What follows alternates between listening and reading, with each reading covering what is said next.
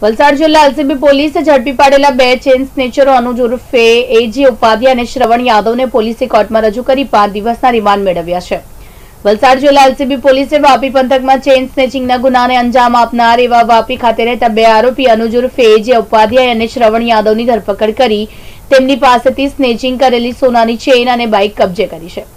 આરોપીઓને ડુંગરા પોલીસ મથકના નોંધાયેલા ગુનામાં હોય, એલસીબીએ બંને આરોપીઓને કબજે ડુંગરા પોલીસને સોંપ્યો છે. આ બંને આરોપીઓને ડુંગરા પોલીસે કોર્ટમાં રજૂ કરી પાંચ દિવસના રિમાન્ડ મેળવ્યા છે. જ્યારે તેમના બે સાગીરત એવા અન્ય બે આરોપીને જુવેનાઇલમાં મોકલી આપવામાં આવ્યા છે.